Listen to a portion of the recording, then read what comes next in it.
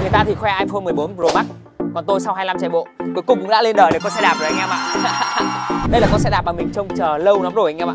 Đố anh em biết giá tiền con xe đạp này là bao nhiêu nhá? Và đây chính là món quà mình tự thưởng cho bản thân sau khi hoàn thành full marathon dưới 4 giờ. Đây là thành quả của việc kiên trì và nỗ lực trong suốt thời gian vừa qua của mình. Mình đã mất rất nhiều thời gian để có thể bán được con xe máy chiến của mình để mua con xe đạp này. Từ một con báo trong rạp cuối cùng mình cũng đã trở thành con báo xe đạp rồi anh em ạ. Thật là binh chi linh. Đùa thôi chứ tiền mình kiếm ra để mua nha anh em. Và mình sẽ làm rất nhiều thử thách về con xe đạp này. Có thể nó sẽ có một chuyến đạp xuyên việt với nó. Anh em nào có thử thách gì cho mình với con xe đạp này? Hãy viết xuống bên dưới và mình sẽ chọn ngẫu nhiên một thử thách để thực hiện. Anh em nhanh tay đặt thử thách ở phía dưới nhá. Ok, bye bye anh em.